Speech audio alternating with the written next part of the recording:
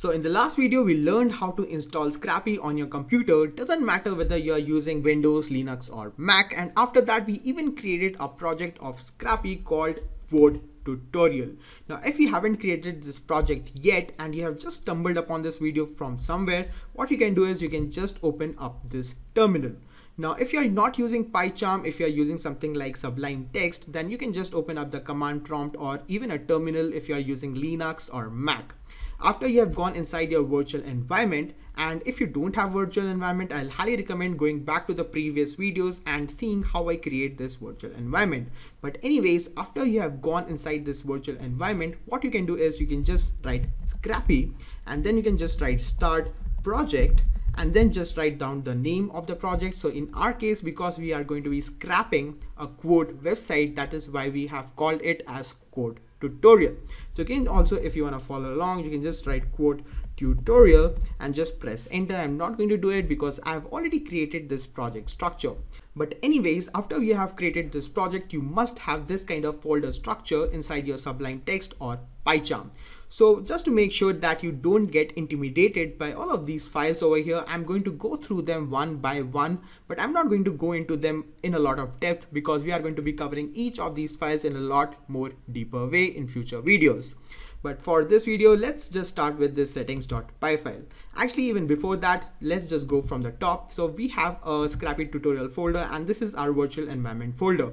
And inside that we have our project folder that is the quote tutorial folder that we just created. And just the Scrapy project has also created another folder inside that same project folder, which is also known as quote tutorial.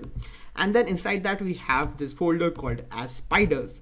Now, if you don't remember, spider is basically a Python program that scrapes other websites. So we are going to be writing our Python code inside the spiders folder. Now there are two init files or initialization files that you don't need to worry about. Scrapy just uses them for its purposes. You don't need to worry about them and mostly they are just empty. But in this init file, it's written that you can just put in your spiders of your scrapy project inside this spiders folder. Now after that we have these four files that are really important. Let's just start with settings.py file. So if we open it up and we scroll to the top, you will be able to see that the first line is bot underscore name equals to quote tutorial. Now quote tutorial is just the name of our project and why is it calling it a bot? Because we are creating a web scraper here, web crawler over here. Why is it calling a bot? So if you don't know, bot is basically anything that automates the writing of code or automates some kind of action on the internet or on a website and because we are automating the action of web scraping or crawling a website that is why our crawler can also be named as a bot or can also be called as a bot that is why in our settings.py file, it says bot name equals to quote tutorial. After that, it has a couple of modules which you don't need to worry about. And after that, there is this user agent. So what is a user agent? Whenever you visit a website, for example, if you visit google.com, then you need to identify yourself as to who you are. So who is the person basically sending a request? So what Google does it, it asks the browser that you are using, hey, who the heck are you exactly? So a browser sometimes sends a request to the Google saying that, hey, I'm just a Mozilla Firefox browser. And if you're web scraping yourself, you can be a little bit more responsible and you can identify yourself by writing in your domain name, but you don't have to do that. In the future videos, you'll also be seeing that we'll be uh, so a lot of website put a lot of restrictions on web scraping. So in the future, you'll be also seeing us bypassing those restrictions using this user agent over here. But for us right now, it doesn't really matter. Now I'm not going to go into this robots text file because I've already gone into it in a little bit of more depth. So you can just check out the previous video. I think it was the third or fourth video that I did where we go into what is this robots.txt file. Now the next thing that we need to know in our settings.py file is this term of concurrent requests. So whenever you make a lot of requests at the same time, then that is known as concurrent requests. Now just to reel it back a little bit, if you don't know what a request is, it is basically asking a website to open up. So for example, if you go to google.com and press enter, basically our browser is sending a request to Google server and asking the Google server to open up. So similarly, we are going to be using our Python program to request a website to open up so that we can scrap it. Now, whenever we ask the website to open up once, we can get the data of that website once. But because we are going to be scrapping a lot of data, that is why we can't just use one request. That is why we are going to be sending a lot of requests at the same time. And in our case, we are going to be sending the request at 16 rate per time. So we are not going to be using the 32 one over here. We are going to be using the default one that is the 16. Now you must be thinking that, hey, why are we keeping the number of concurrent requests to 16? And because we have a huge amount of data that we want to scrap and we want the data scrapping to be done really, really quickly, why don't we just increase this number from 16 to maybe something like 1000, you know?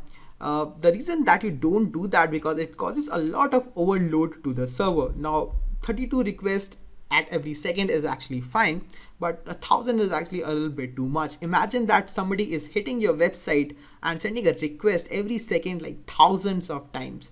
Then this can cause a lot of overload to the server and the website. And in some cases, if the website is small, the website can also go down. So that is why you want to keep this number to a very uh, small number. Maybe 32 is fine, but you know, a thousand number is not fine.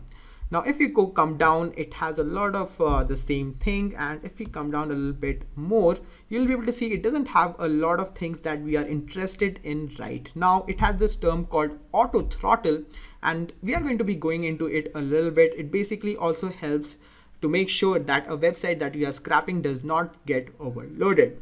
So the next file that we are going to be looking into is actually this file called items.py and if you look into it, it has this class of code tutorial item that has been automatically created for us and it says define the fields for your item here.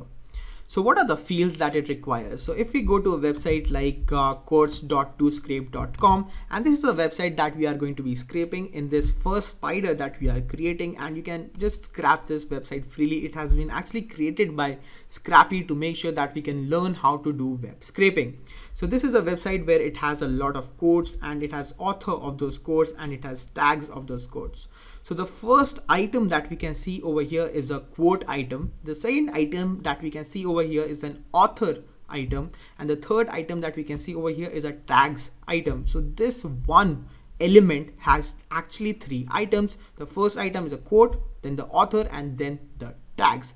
So whenever we are scrapping a website, it always has a particular field of items. So the this element over here has three items but if we open a website like Amazon you'll be able to see that it has different items for example the product name the product price the product category the product description and stuff like that so whenever we are scrapping a project it's a good idea and actually it's a good practice to define your items over here in this items.py file so if we are going to be looking into this file a little bit more in the next video, but for right now, just understand that whenever we need to define a field, it goes into items.py. So for example, over here, it has said name equals to scrapy dot field. And if we want to scrap, for example, a quote, we can call it quote equals to scrapy dot field.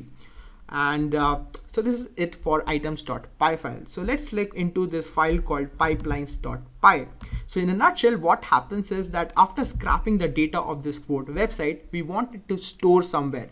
So for example, that data can be stored in a JSON file or maybe a SQL file or SQL database or maybe a MongoDB database. So this is done by using this pipelines.py file. So every code that goes inside this pipelines.py file, make sure that your web scraped data or your scraped data is handled properly and it goes to where you intend it to go.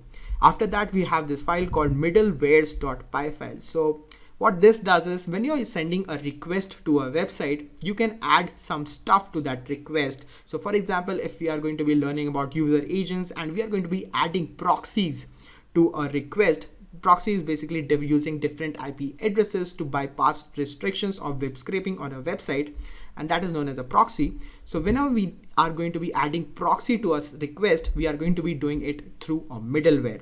And whenever a website sends a response back, we can also handle that response. So for example, if we extract this uh, quote from this website, and if we want to do something with this quote, then we can use middleware to do something with that code and then we can obviously send it to this pipelines.py file where we can store it inside some kind of database.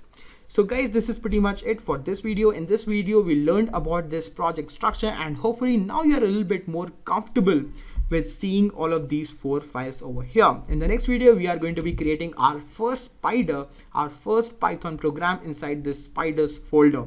So I'll see you over there.